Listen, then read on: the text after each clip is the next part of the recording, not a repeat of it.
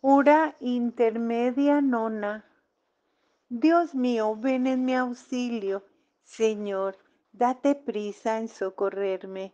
Gloria al Padre y al Hijo y al Espíritu Santo, como era en el principio, ahora y siempre, por los siglos de los siglos. Amén. Aleluya. Himno.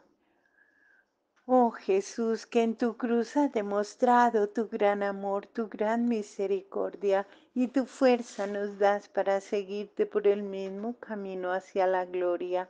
Que fielmente cumplamos en tu iglesia nuestra parte en la obra salvadora y al llegar a la tarde de la vida en gozo entero, el Padre nos acoja Gracias, Padre, a ti porque nos llamas a Jesús que en su sangre nos redime y al Espíritu Santo luz y guía de este pueblo que al cielo se dirige.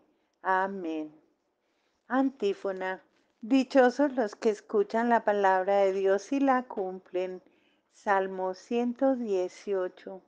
Señor, que me alcance tu favor tu salvación según tu promesa, así responderé a los que me injurian, que confío en tu palabra.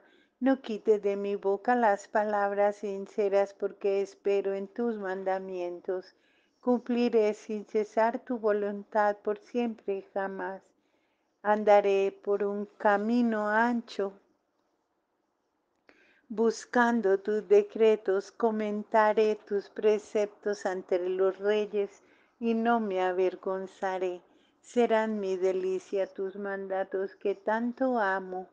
Levantaré mis manos hacia ti recitando tus mandatos.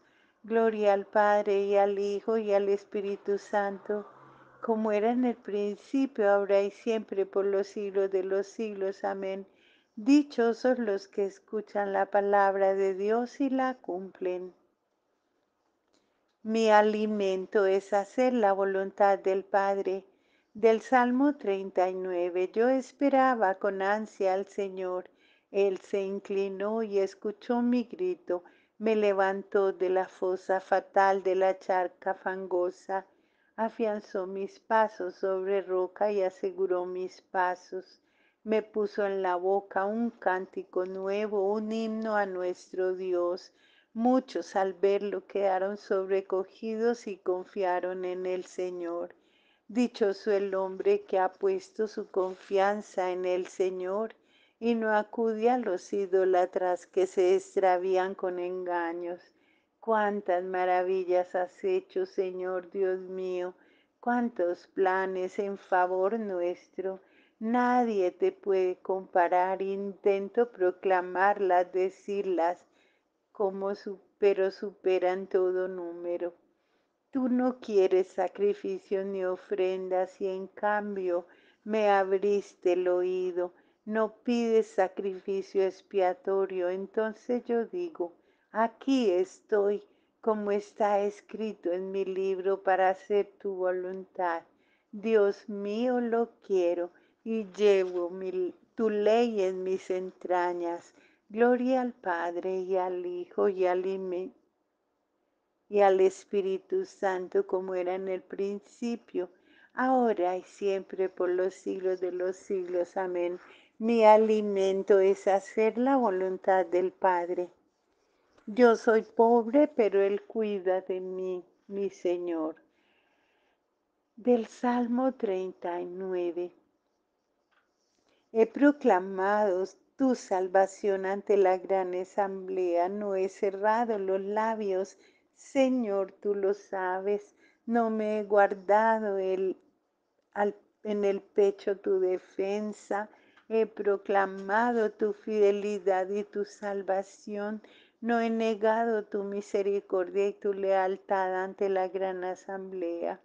Tú, Señor, no me niegues tu clemencia, que tu misericordia y tu lealtad me guarden siempre, porque me cercan desgracias sin cuento.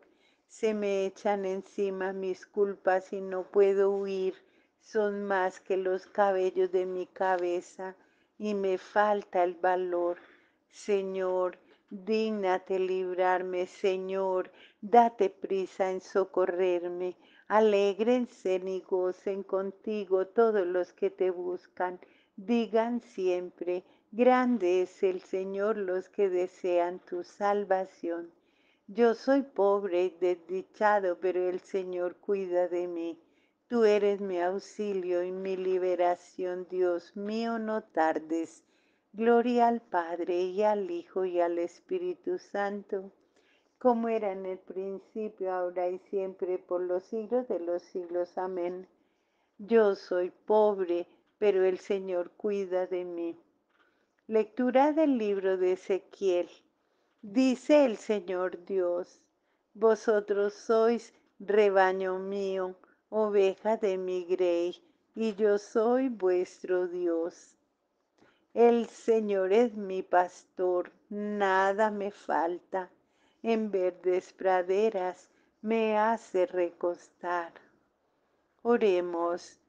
Tú nos has convocado, Señor, en tu presencia, en esta misma hora en que los apóstoles subían al templo para la oración de la tarde. Concédenos que las súplicas que ahora te dirigimos en nombre de Jesús, tu Hijo, alcancen la salvación a cuantos lo invocan. Por Cristo nuestro Señor. Amén. Bendigamos al Señor, demos gracias a Dios.